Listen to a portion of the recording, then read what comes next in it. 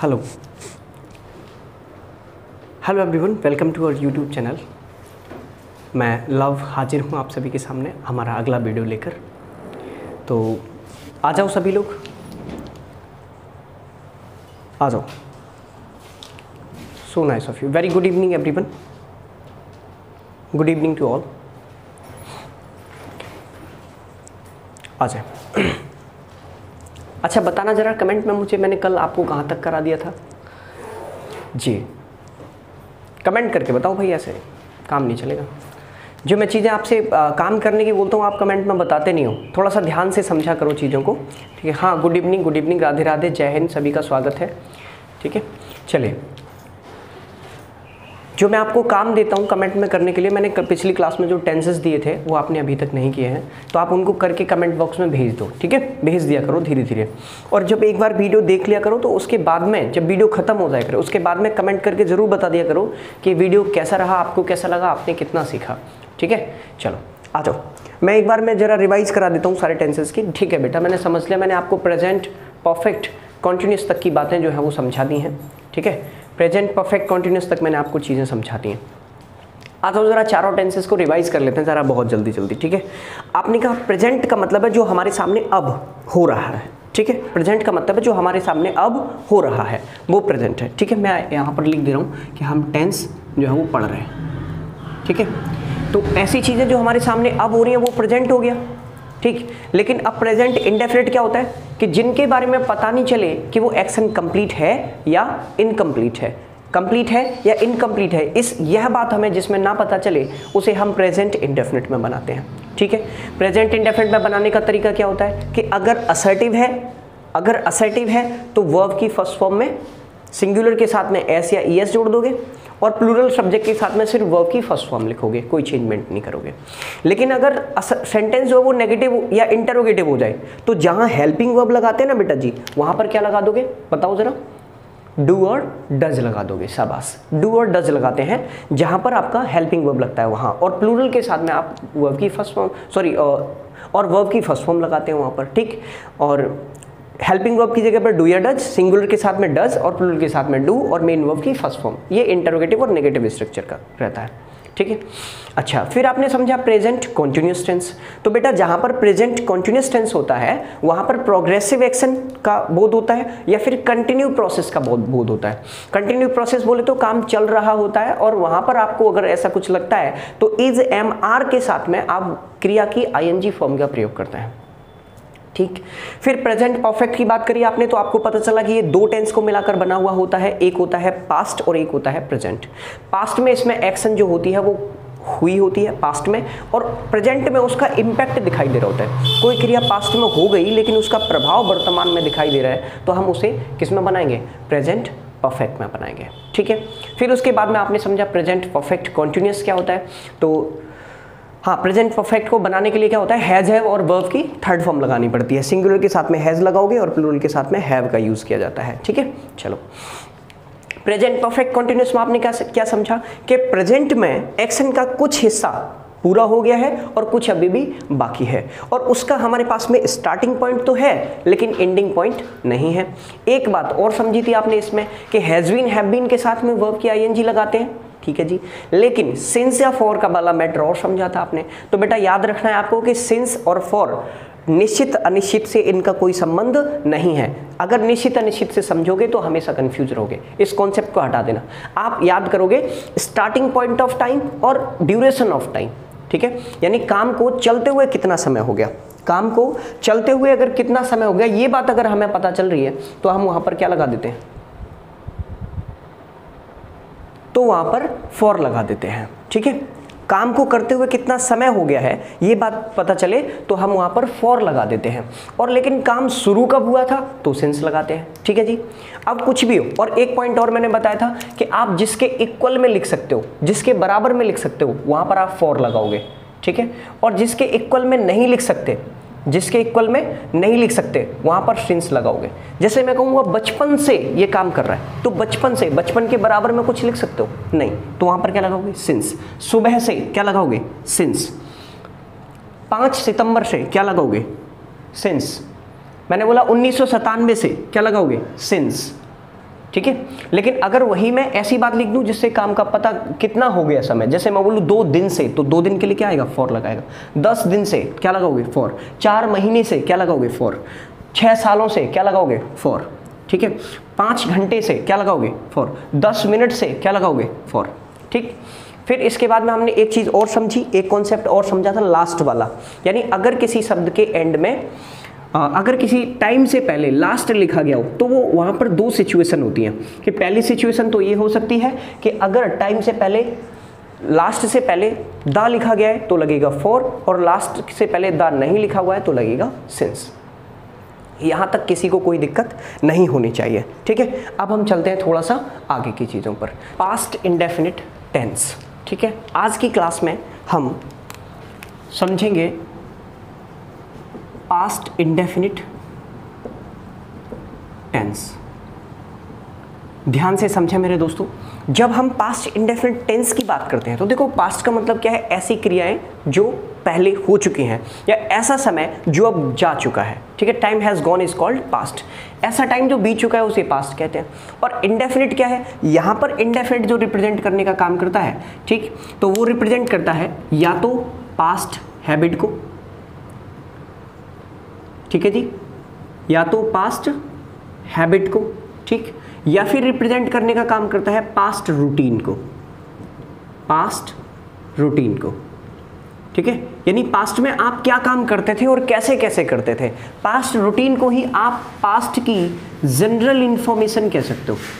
Past की general information यानी कोई आम बातचीत, जैसे पास्ट की आप कोई जनरल बातचीत कर रहे हो कि वह यहाँ रहता था, वह इस मकान में रहता था, रानी ने मधुर गीत गाया, या वे इस वे इस शहर में काम करते थे, इस तरह की जो बातें हैं, वो सारी की सारी पास्ट जनरल इन्फॉर्मेशन हो जाती हैं, ठीक है? और इसमें कभी कभी आप स्टोरी टेलिंग का काम भी करते हो। स्टोरी टेलिंग है ना? आप अपनी जो कहानियाँ सुनाते हो एक दूसरे को तो वो सारी की सारी किसमें आती हैं पास्ट इंडेफिनिट में। कहानी, जैसे मतलब आपको यात्रा वृतांत सुना रहे हो कि मैं ट्वेल्थ में पढ़ता था, है ना? या फिर मैं एट्थ में पढ़ता था और वो भी एट्थ में पढ़ता था, है ना? हाँ जी, मैं भी पहली सीट पर बैठता था। मेरा दोस्त भी पहली सीट पर बैठता था। हम दोनों साथ में जाते थे। वह मेरा बहुत बहुत ख्याल रखता था। तो इस तरह की बातें जो भी हैं, आप कब, जब भी कहानी सुनाओगे, है ना, एक दिन उसने मुझे बुलाया, मैं उसके घर गया, या हम दोनों ने खूब मस्ती की तो ये सारे के सारे जो टेंस हैं, ये आपके कौन से हो गए? पास्ट इंडेफिनिट क्यों? क्योंकि आप पास्ट की कहानी सुनाने का काम कर रहे हो तो इसलिए आपको पास्ट इंडेफिनिट में ही बतानी पड़ेगी। ठीक है?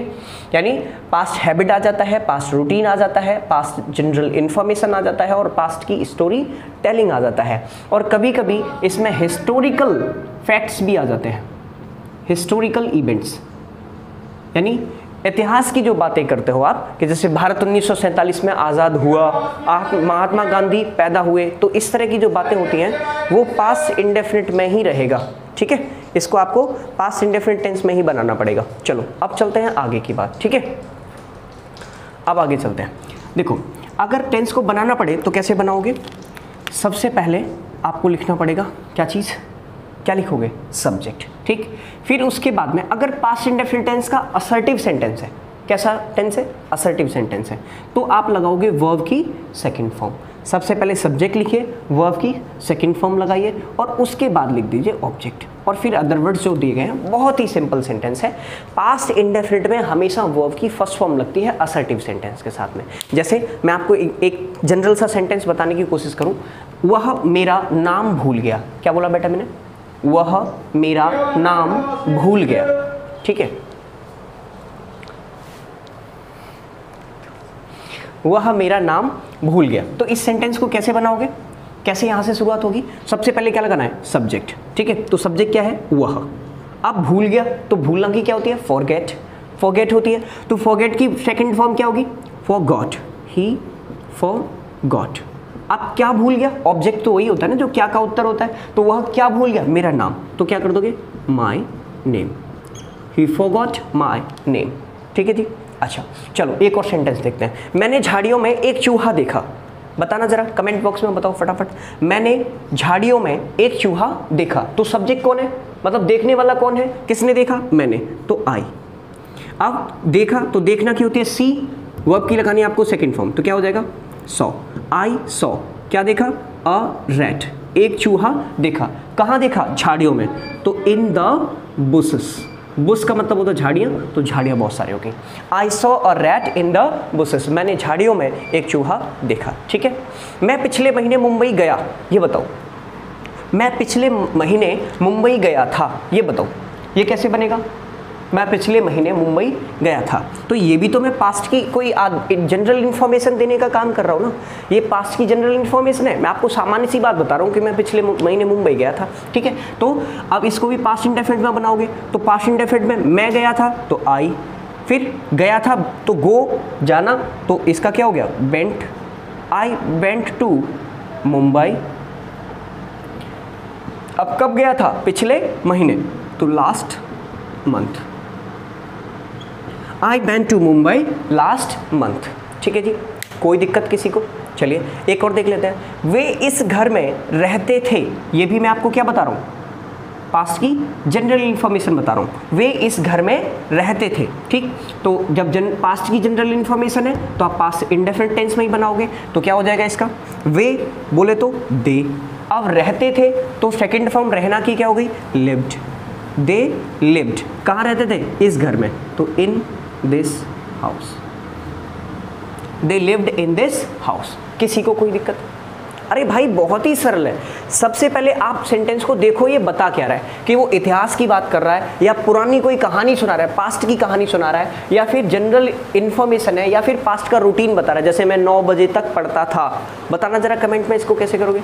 मैं नौ बजे तक पढ़ता था। तो I studied I studied till nine o'clock लीजिए, मैं नौ बजे तक पढ़ता था, ठीक है? हाँ पढ़ा करता था तो बात अलग हो जाती यूज़ टू का प्रयोग कर देते उसमें, ठीक है? वो हमारा टॉपिक नहीं है, बाद में डिस्कस करेंगे। और पास्ट की हैबिट आप जैसे बताओ किसी को, मैं प्रतिदिन पाँच बजे उठता था, मैं प्रतिदिन आठ बजे स्कूल जाता था, मैं प्रतिदिन किताब पढ़ता था तो ये पास्ट की हैबिट हो गई तो ये भी आपके पास इसी में बन जाएगा, ठीक है? असर्टिव सेंटेंस में क्या करना है? सब्जेक्ट लिखना है वर्ब की सेकेंड फॉर्म लगानी है ऑब्जेक्ट लगा देना। अच्छा अब देख लेते हैं अगर सेंटेंस आपका नेगेटिव हो जाए, ध्यान से समझना, अगर आपका सेंटेंस कैसा हो जाए नेगेटिव तब क्या करोगे? सबसे पहले लिखना है आपको सब्जेक्ट सबसे पहले सब्जेक्ट लिखोगे।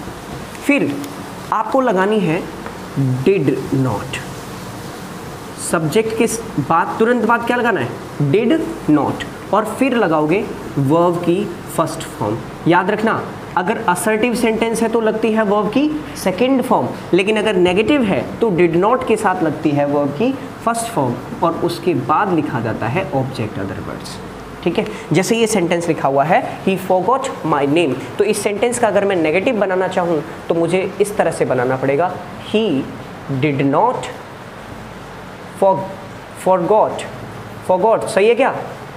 सही है क्या? माई नेम बोलो, सही है, गलत। कैसा हो गया? शाबाश, गलत हो गया। तो आपको क्या करना पड़ेगा?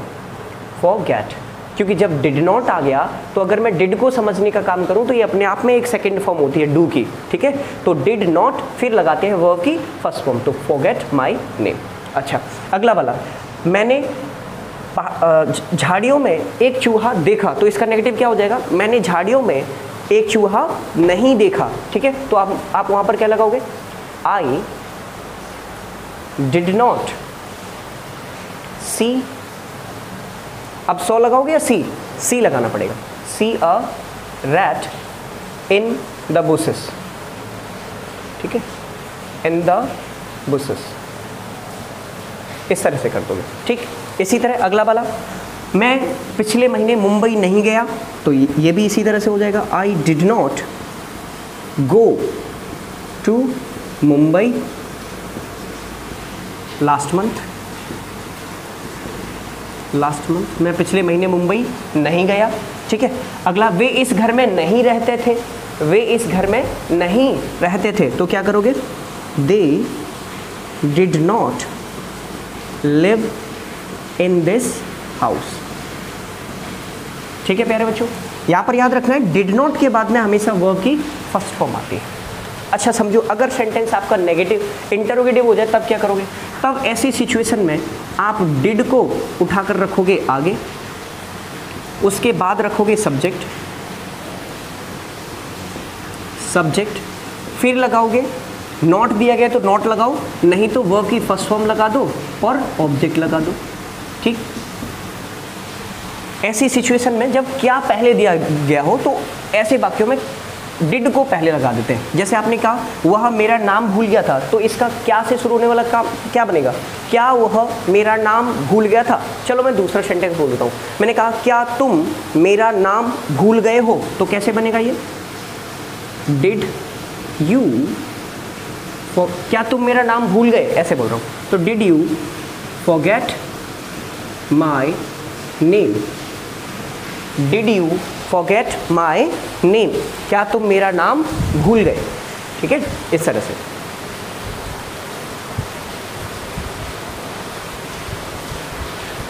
अच्छा अगला वाला है I saw a rat in the bushes तो मैं इसको क्वेश्चन पूछ लेता हूँ। क्या तुमने पहाड़ियों में एक चूहा देखा?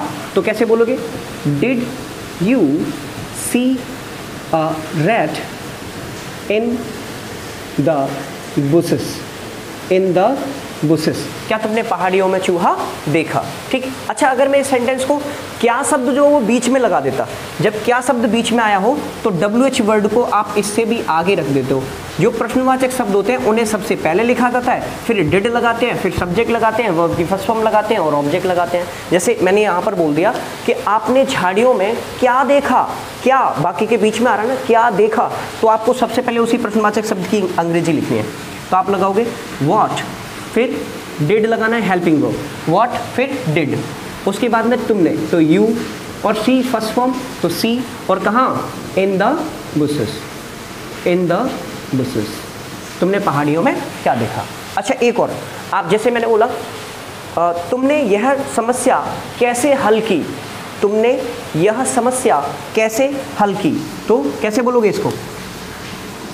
सबसे पहले प्रश्नवाचक शब्द लगाना है। तो हाउ फिर did you solve this problem how did you solve this problem इस तरह से आपका जो है, ये टेंस भी ख़त्म हो जाता है। यहाँ के शॉर्टकट्स और एडवांस लेवल की जो चीज़ें हैं, वो मैं आगे बताऊँगा। आप थोड़ा सा एक्टिव रहा करिए। जो मैं आपको काम देता हूँ, वो काम पूरा करते रहा करिए, ठीक है? आप लोग काम नहीं करते हो पूरा तो आपको फिर दिक्कत होती है। चलो फटाफट से इन बातों को लिखो और ये जो, ये आ गई आपके सामने, ठीक है? स्क्रीनशॉट ले लो इसका और आंसर ज़रूर करके भेजना, ठीक है? आंसर आपको ज़रूर करके भेजना है इन चीज़ों का। ठीक है। चलो भैया, अब हम बढ़ते हैं आगे, ठीक है? अब हम अगले टेंस पर चलते हैं। ठीक? इसको मैं मिटा देता हूँ।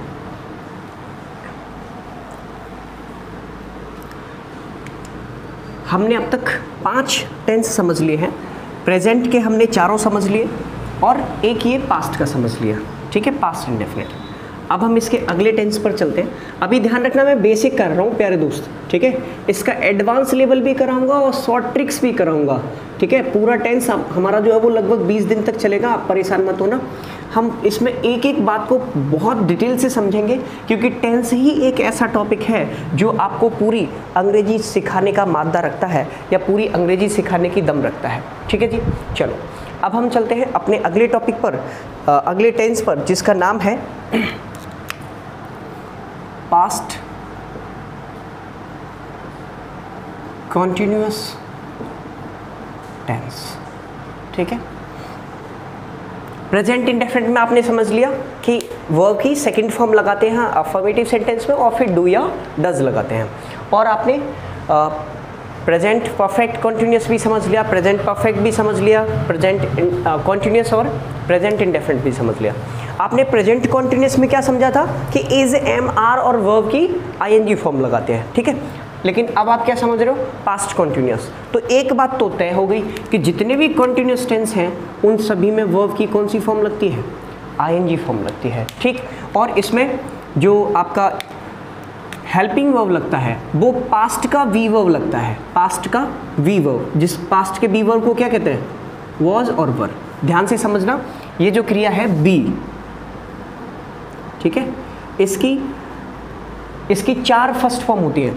एक होता है इज़ एम और आर ये तीन ये हो गई, और एक ये आपके सामने लिखी हुई है, और जो दूसरी होती है, वो सेकंड फॉर्म होती है, दो।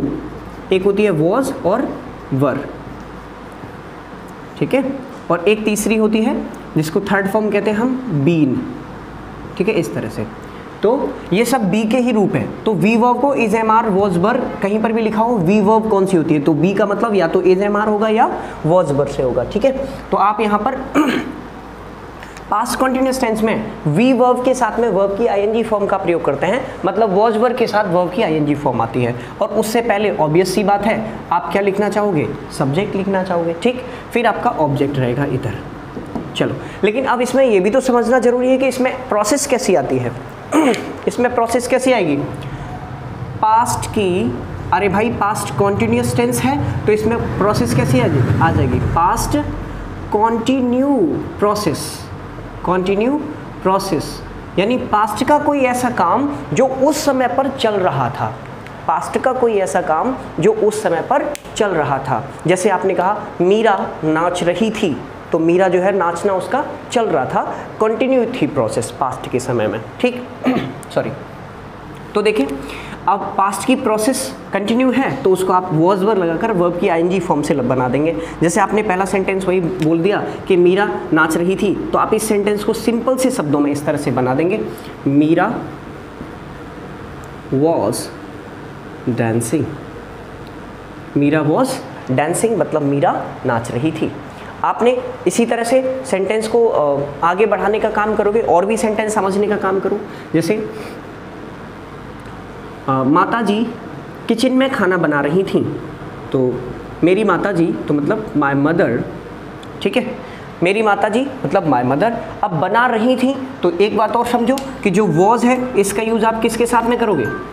वर्ब का यूज़ वॉज़ का यूज़ हमेशा सिंगुलर के साथ होता है और वर्ग का यूज़ हमेशा प्लूरल के साथ होता है, ठीक है? वॉज़ आता है प्लूरल के साथ और सॉरी वॉज़ आता है सिंगुलर के साथ और बर आता है प्लूरल के साथ, ठीक? तो यहाँ पर माई मदर जो शब्द है, वो सिंगुलर है या प्लूरल है? कैसा हो जाएगा? कैसा हो जाएगा? सिंगुलर ठीक है? माई मदर जो शब्द है सॉरी ओके माई मदर जो शब्द है, वो कैसा रहेगा? सिंगुलर तो वॉज़ कुकिंग खाना बना रही थी। कुकिंग फ़ूड कहाँ बना रही थी? किचन में। तो in the kitchen in the kitchen. अच्छा अगला सेंटेंस देखो। ये हो गया, मीरा नाच रही थी। ये हो गया, मेरी माता जी खाना बना रही थी किचन में। अगला, सुरेश तुम्हें बुला रहा था। जरा बताना सेंटेंस को। सुरेश तुम्हें बुला रहा था। सबसे पहले क्या रखोगे? सबसे पहले क्या रखोगे? सब्जेक्ट फिर क्या लगोगे वॉज़ या वर वर्ब की आईएनजी फॉर्म और किसको बुला रहा था? वो ऑब्जेक्ट यानी सबसे पहले आप करोगे सुरेश। अब सिंगुलर है तो वॉज़ वर्ब की आईएनजी फॉर्म बुलाना होता है? कॉल आईएनजी फॉर्म कॉलिंग और तुम्हें तो यू सुरेश तुम्हें बुला रहा था। ठीक है? कोई दिक्कत? चलिए, अगला देखते हैं। जैसे अगला सेंटेंस है। जंगल में मोर नाच रहा था। कैसे करोगे? जंगल में मोर नाच रहा था। करना बेटा जरा। मोर का क्या हो जाएगा? The peacock. The peacock. Was dancing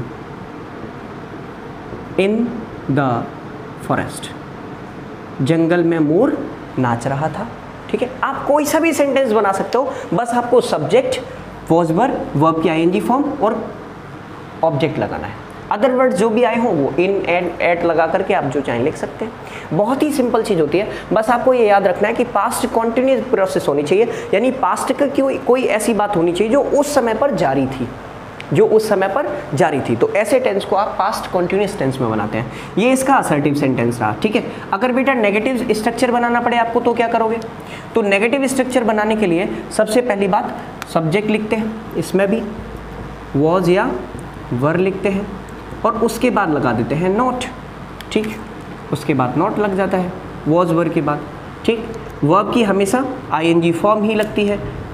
ये कभी बदली नहीं जाती इसमें। और उसके बाद में आप क्या लगा दोगे? ऑब्जेक्ट लगा दोगे। ठीक है? और अगर सेंटेंस इंटेरोगेटिव हो मतलब क्या से शुरू हो रहा हो तो सबसे पहले आप क्या करोगे?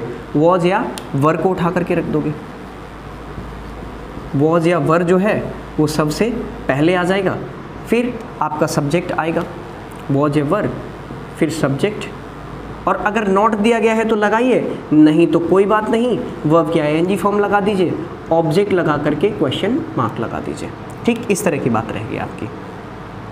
चलो, देख लो। इन सेंटेंसेस को नेगेटिव बनाते हैं। और अगर प्रश्नवाचक शब्द भी दिया गया हो ना इसमें, अगर प्रश्नवाचक शब्द बाकी बाकियों की तरह से भी इसमें दिया गया हो तो आपको वो प्रश्नवाचक शब्द इससे भी पहले लगा देना है। डब्ल्यू एच वर्ड सबसे पहले रख देना। ठीक? ओके चलो, इन्हीं सेंटेंसेस को हम जरा नेगेटिव बनाने की कोशिश कोशिश करते हैं। नेगेटिव बनाओ। जैसे मीरा नाच रही थी।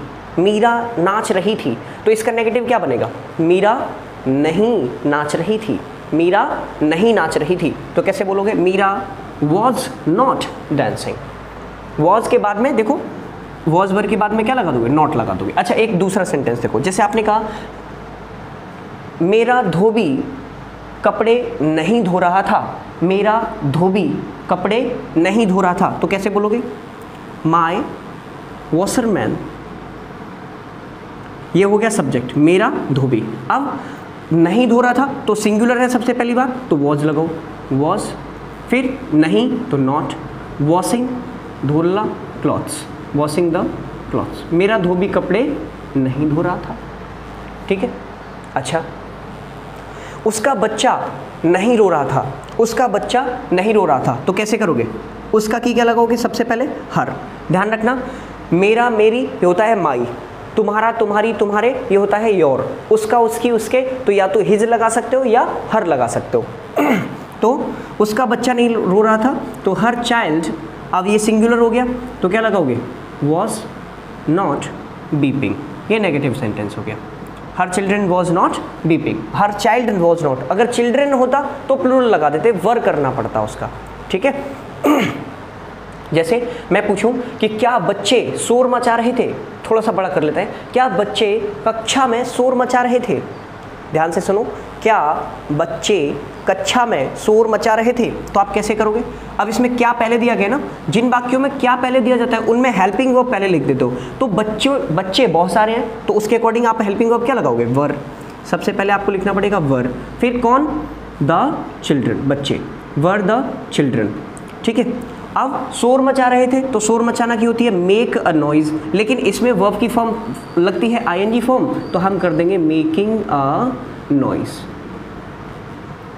were the children making a noise अब कहाँ पर? कक्षा में। तो in the class in the class क्या बच्चे कक्षा में शोर मचा रहे थे? तो were the children making a noise in the class ठीक है? चलिए।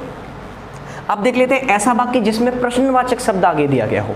ऐसा वाक्य जिसमें प्रश्नवाचक शब्द बीच में दिया गया हो सॉरी तो अगर बीच में दिया जाता है तो क्या करते हैं, सबसे पहले उसी प्रश्नवाचक शब्द को रखते हैं। फिर वॉजबर में से कोई एक लगाते हैं सब्जेक्ट लगाते हैं वर्ब की आईएनजी फॉर्म फिर ऑब्जेक्ट लगाते थे देखो बेटा कैसे, जैसे मान लीजिए मैंने एक सेंटेंस बोला कि तुम मुझे क्यों बुला रहे थे?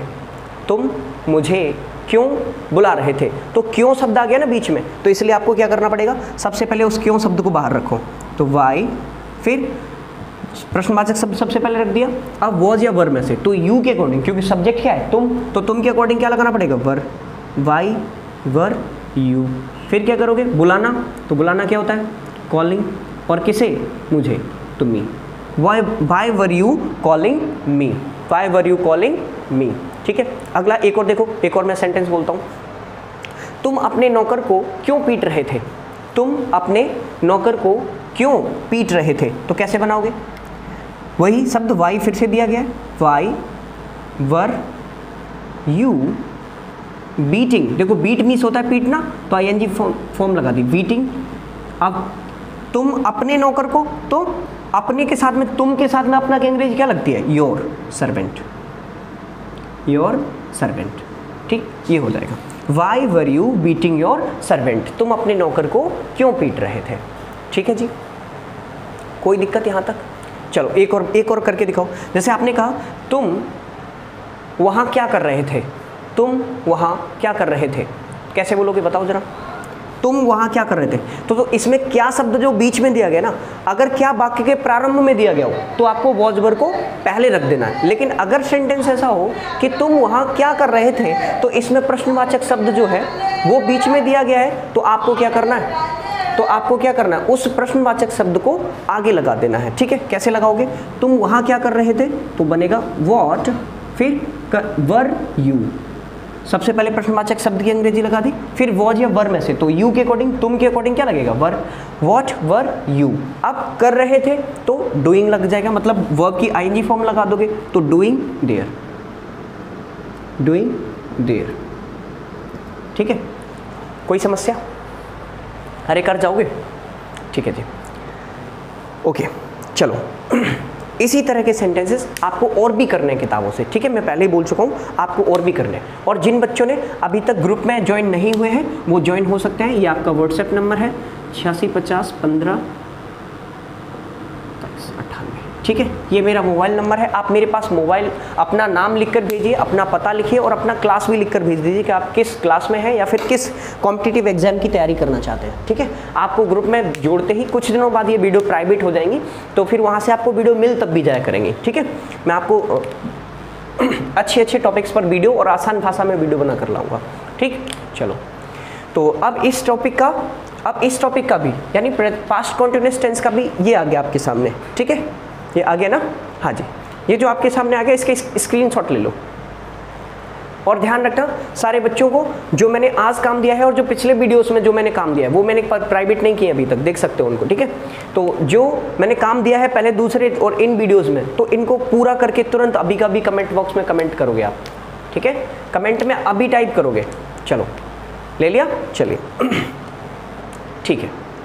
और ध्यान रखें संडे को पाँच बजे हम लाइव आएँगे तो आपसे थोड़ी सी बातें करेंगे, ठीक है? संडे को पाँच बजे हमारा लाइव रहेगा, ये रिकॉर्डेड क्लास है, संडे को पाँच बजे हम पढ़ाई नहीं करेंगे, हम पढ़ाई नहीं करेंगे, सिर्फ़ बातें करेंगे अच्छी अच्छी बातें करेंगे, ठीक है? और भी आपको याद कैसे करना है, चीज़ें याद क्यों नहीं होती हैं, इस विषय पर बात करेंगे। आपको कैसे पढ़ाई करनी चाहिए, कितने घंटे कम से कम पढ़ना चाहिए, नींद कितने घंटे लेनी चाहिए, ठीक है? हम आपसे पढ़ाई की बात करेंगे ठीक है? मन की बात नहीं करेंगे पढ़ाई की बात करेंगे। चलो आज के लिए बस हम इतना ही छोड़ते हैं और आपसे अगले वीडियो में मिलेंगे ठीक है? और आपका बहुत बहुत शुक्रिया हमें इतना प्यार देने के लिए इतना सारे लाइक्स और इतना सारा कमेंट्स छोड़ने के लिए। आपके आ, मैं हृदय से स्वागत करता हूँ आप सभी के प्यार का। और ज़रूर अपने कमेंट्स छोड़ा करिए क्योंकि आपकी कमेंट्स और आपके लाइक्स जो हैं वो हमें प्रेरणा देते हैं काम करने की। मतलब हमें थोड़ा सा जुनून देता है एक काम करने के लिए ठीक है? चलिए बाय बाय